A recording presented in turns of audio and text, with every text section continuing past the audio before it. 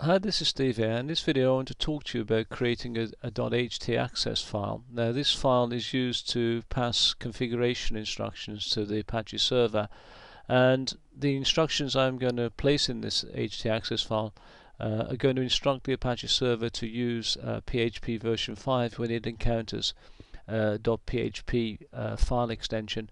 Now this is required on one-on-one -on -one servers um, using uh, WordPress 3 as they seem to default to using PHP 4 rather than 5 and WordPress 3 and above requires PHP version 5 so if your install isn't working on a one-on-one server may then maybe you need to add this to your .htaccess file.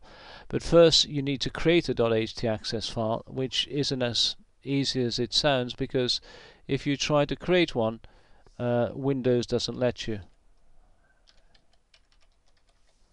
and it doesn't let you because it wants a file name. I'm just going to copy that.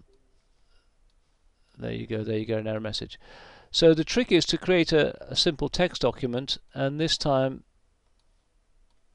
you open it up and then you type the instructions in there and you type them in there and then you save it as .htaccess.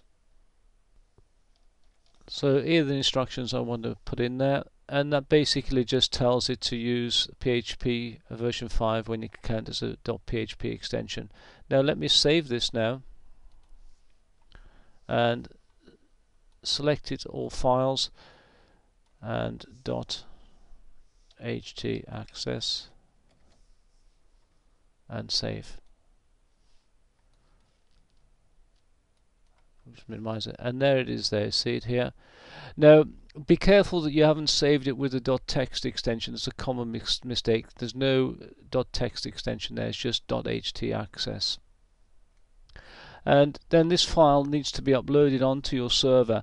And when you install WordPress uh, on your server, it, it, WordPress installation modifies the htaccess file. And if you actually take a look at that by FTPing it back to your PC and taking a look at it, you should see something like this this is actually an HT access of one of my installations. You can see the code that I entered at the top and this has been inserted by the WordPress install.